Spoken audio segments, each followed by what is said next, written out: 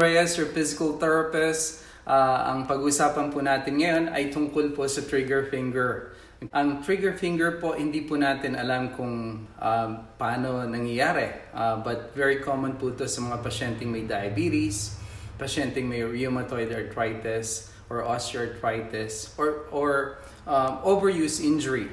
So, ngayon hindi pa ho natin alam kung bakit nagkakaroon tayo ng trigger finger. Um, ang trigger finger po, ito po yung may problema sa tendon. So lahat po yan may A1 pulleys sa mga fingers natin. Yan po yung mga A1 pulleys. So pagka nagkaroon ng fibrosis or inflammation or swelling, hindi na hindi dumadaloy na maganda yung tendon, hindi siya nag-glide na maigi. So anong nangyayari sa trigger finger, na-stuck siya.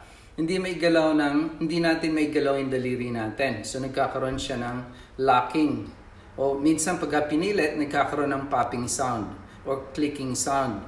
Uh, masakit din po siya pagka ginalaw. So yan po ang, ang mga symptoms ng uh, pasyenteng may trigger finger.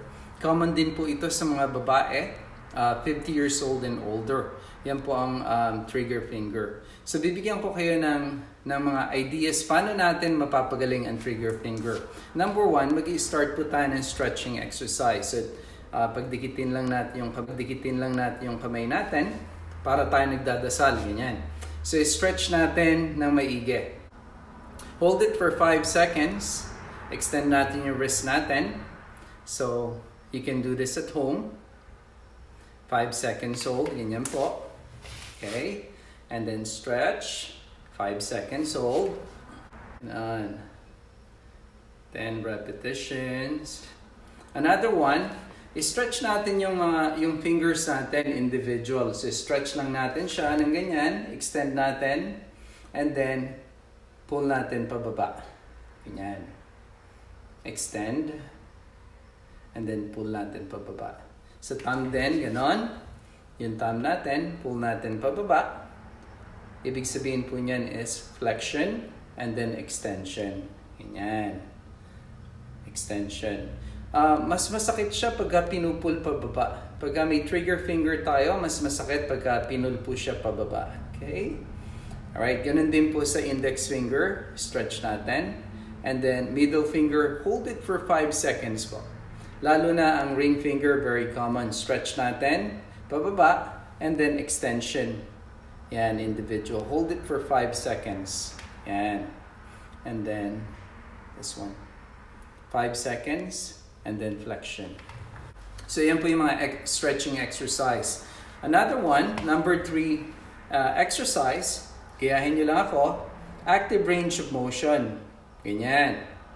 Hold it for 5 seconds and then squeeze. Start with this. Okay, 5 seconds and then squeeze. 2 to 5 seconds. Up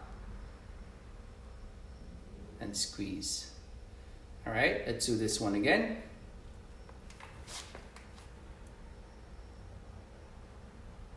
Yan. Napaka-common po itong trigger finger nito. Okay, last one. Yan. 2 to 5 seconds lang. And then back. Okay, this is number 4 exercise. Tapos kung meron kayong squeeze ball or, uh, or tennis ball, you can use this one for strengthening. Uh, squeeze nyo lang and then do some rotation back. Squeeze, rotation back. Okay, squeeze and then do some rotation back. Squeeze and then do some rotation back. 10 repetitions. Ganun din po sa kabila. Squeeze and then do some rotation. Squeeze and do some rotation. Squeeze and do some rotation. Last one, squeeze and do some rotation. Kung wala po tayong squeeze ball or tennis ball, pwede kayo maging creative. Uh, i-roll nyo lang yung towel, tapos i-squeeze nyo lang siya. Like, like this. Yeah, para ma-strengthen yung muscles. Just like that. Do this for 10 repetitions. Yan.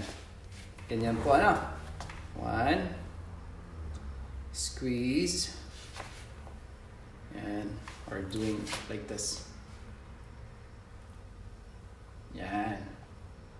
Hold it for 2 seconds. Ganyan. 10 repetitions pa na.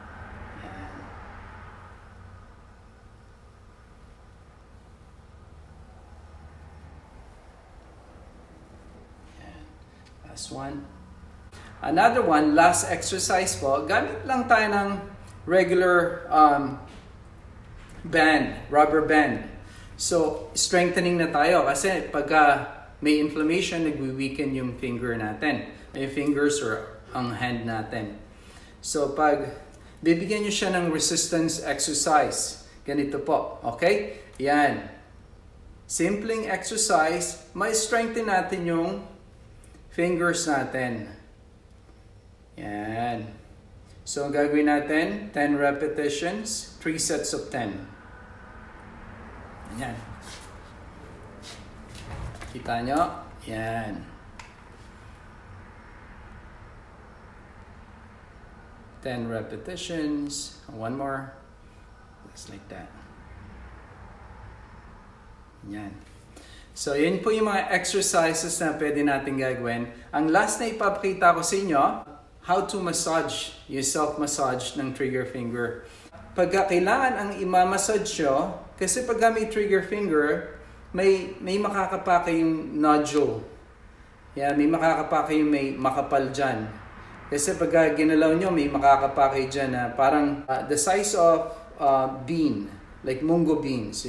Yan, ma-feel ma nyo. So, ang gagawin nyo, circular motion dyan, and then active range of motion circular motion, and then active range of motion. Or umpisa lang muna kayo ng, ng uh, massage. Yan. Okay. Umpisa tayo ng massage. Ito yung trigger finger, so ring finger. Gagawin nyo, i-glide nyo lang yung circular motion or opposite the the movement, okay? Ng fiber. Yung tendon mo, nandito eh. Yan. So, ang gagawin mo, side to side or circular motion. Paikot-ikot. Yan. Tapos sama nyo na rin. Lahat na. Sama nyo na yan dyan. Pero mag-concentrate kayo where the nodule breakdown. So, sama nyo na rin yan dyan. And then all the way to the thumb. So, pakita ko sa inyo, circular motion. Mag-spend tayo ng mga 2 to 3 minutes massaging the finger. Yan. Massaging the finger. After massaging, squeeze lang ulit. And then, massage it for 2 to 3 minutes. Yeah. Okay guys, okay guys. Yun lang po may bibigay ko sa inyo ngayon. Uh, sana makatulong ito sa inyo.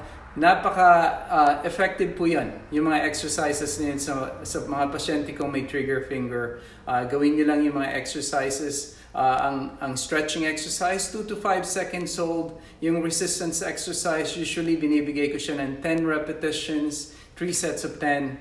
Uh, yun lang po. Stay healthy. And um, have a good day.